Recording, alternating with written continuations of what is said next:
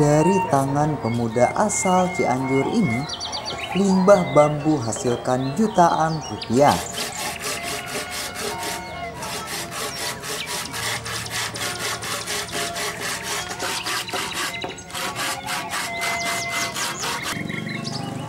Limbah potongan bambu selama ini hanya menjadi kayu bakar saja.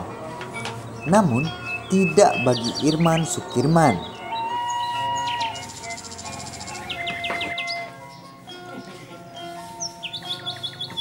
Di tangan pemuda asal kampung Susukan, Desa Susukan, Kecamatan Campaka, Kabupaten Cianjur ini, limbah potongan bambu bisa diolah menjadi kerajinan tangan bernilai ekonomi tinggi.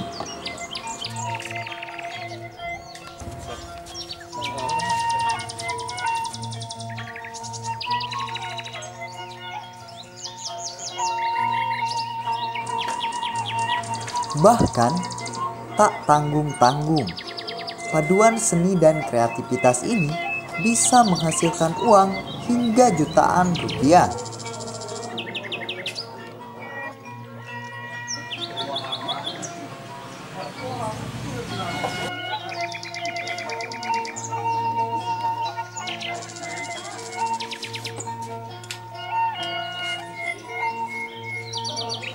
Berbekal keahlian seni dan kreativitasnya, Irman dapat membuat lukisan berbahan dasar bambu hitam yang mempunyai nilai tersendiri.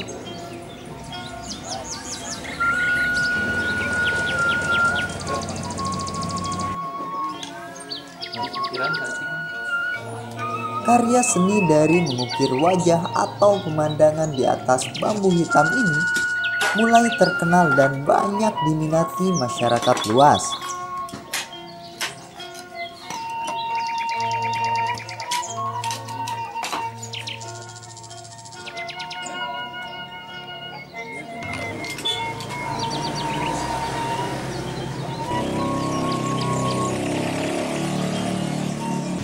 Pesanan datang dari berbagai wilayah di Pulau Jawa dan Bali.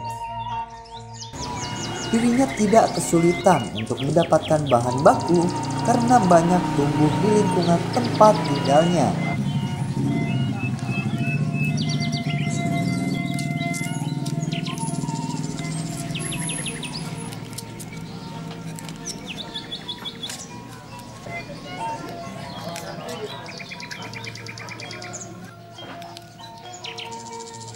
Idenya dari media sosial. Kita lihat tutorial dari YouTube. Bambu ulung, bambu hitam. Dua hari sampai tiga hari. Dari dijemur sampai kita ukir, terus finishing. Karya ukir berbahan bambu ini dibuat berbagai bentuk seperti asbak, gelas, figura, celengan, dan gambar lainnya. Dibutuhkan waktu hingga berhari-hari untuk menggambar di bambu karena harus sesuai dengan wajah atau keinginan pemesan.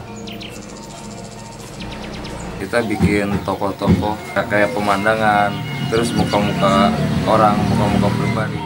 Kalau untuk ukiran kita bikin 2 sampai 3 kisaran dari 50.000 celengan 80 gelas 50 sama asbak 50 kalau lukisan kisaran 100 sampai 500